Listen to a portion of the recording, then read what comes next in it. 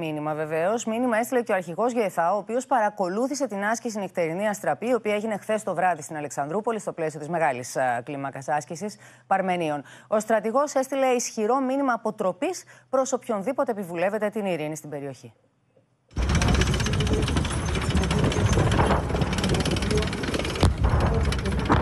Οι ελληνικέ ενοπλές δυνάμεις δημιούργησαν κόλαση πυρός στην τελική φάση της άσκησης Παρμενίων με κωδική ονομασία Νυχτερινή Αστραπή.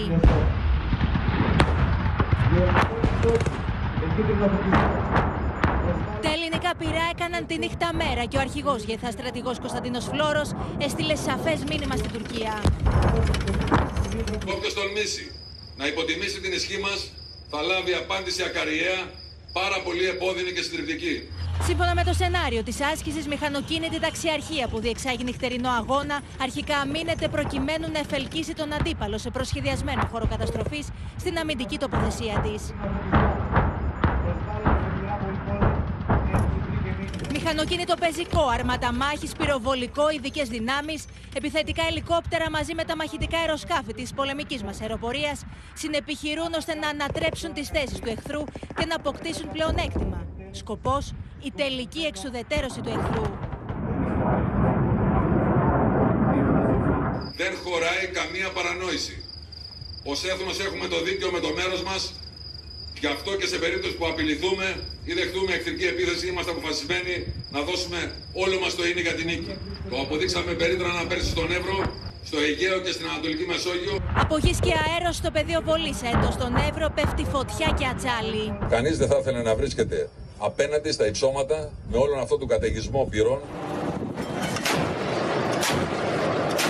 Με μια εντυπωσιακή αποβατική ενέργεια των ελληνικών δυνάμεων στις νότιες εκτές της Χίου, αλλά και επιχειρήσεις ειδικού πολέμου για να αναχαιτιστεί εχθρική ενέργεια, συνεχίστηκε η τελική φάση του Παρμενίωνα.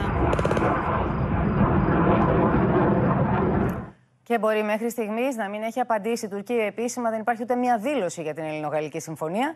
Όπως θα δούμε με τη Γεωργία Γαρατζιώτη, συνεχίζει να επιδεικνύει ακραία συμπεριφορά. Είχαμε δεκάδες παραβιάσεις του εναέριου χώρου μας σήμερα, Γεωργία. Μάλιστα, κάποια από τα αεροπλάνα ήταν και οπλισμένα. Συνεχίζεται η ένταση στον ουρανό του Αιγαίου Πόπη. Σύμφωνα με στρατιωτικές πηγές, οι Τούρκοι σήμερα προσπάθησαν να παρενοχλήσουν την τελική φάση της άσκησης Παρμενίων που διεξαγόταν στις νότιες ακτές της Χίου. Όπως χαρακτηριστικά μου έλεγαν, οι Τούρκοι, τα τουρκικά μαχητικά, ήθελαν να δηλώσουν επίμονα την παρουσία τους από το πρωί μέχρι και τις μεσημεριανές ώρες. Συνολικά, 11 τουρκικά μαχητικά, εκ των οποίων 6 οπλισμένα, παραβίασαν 42 φορές τον εθνικό εναέριο χώρο.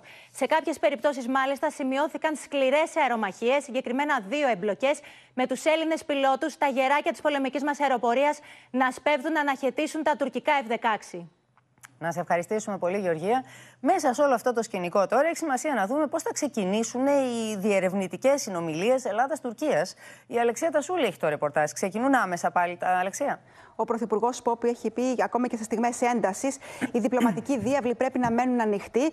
Έτσι λοιπόν, σύμφωνα με πληροφορίες μας, ε, τα δύο Υπουργεία Εξωτερικών Ελλάδας και Τουρκίας είναι έτοιμα να ανακοινώσουν αύριο την ημερομηνία διεξαγωγής του επόμενου γύρου των διερευνητικών συνομιλιών Ελλάδας και Τουρκίας. Είναι ποιος ο 63ο, έχουμε χάσει και το μέτρη. 63ο πράγματι. Θα γίνει στην Τουρκία ο επόμενος λοιπόν, γύρος των συνομιλιών. Ε, θα είναι εντός του Οκτωβρίου και οι πληροφορίες λένε ότι δεν έχουμε μεγάλες προσδοκίες ότι θα έχουμε κάποιο ε, απτό αποτέλεσμα. Επικεφαλής ελληνικής αποστολής θα είναι ο πρέσβης Παύλος Αποστολίδης. Η, επόμενη, η υπόλοιπη όμως ελληνική σύνθεση θα είναι διαφορετική. Η προσοχή για την ώρα Πόπ είναι στραμμένη και στην Ελληνοαμερικανική Συμφωνία.